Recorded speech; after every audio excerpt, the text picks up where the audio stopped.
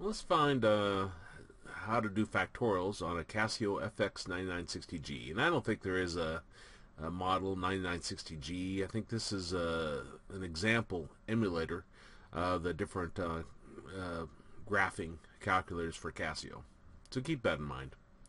Uh, you want to be back at your main menu. If you're not, you can push the menu button, and that uh, will take you back there from where you wherever you're at and we want to specifically choose the first one. So if it isn't already highlighted, use your arrow keys to highlight it and press enter, or EXE I should say.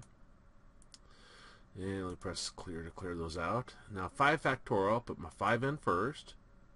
Then we want to choose our option button. And you see list, MAT, CPX, calc, stat across the bottom. This indicates more, so I go down and push the button below it, which is F6 and we want specifically the PROB option. So the button straight below it is F3.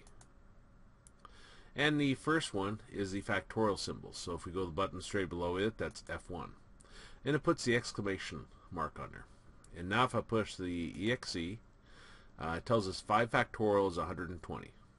And that would be our answer. Now you can press exit a couple times to get it out of that. Get back to here. To go back to your main menu, just press your menu button. In this video, we took a look at how to find a factorial on FX9960G calculator.